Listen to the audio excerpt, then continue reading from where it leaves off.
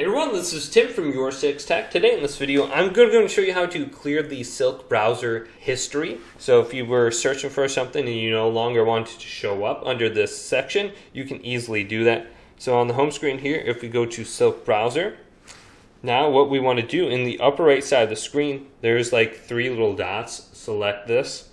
Then go on over to history. Select this. Now go to the garbage can icon and then go to clear data. So you can choose browsing history. You can keep the cookies and site data or the cache and image files, but I'm going to go ahead and just delete everything under here and clear the data. Now, nothing will show up under my history section. As you can see, I do not have a history, a browsing history on here. Then also you might want to go to where it says like your downloads and make sure there's nothing in your downloads folder too. But hopefully this video did indeed help you out. If did, leave it a big thumbs up.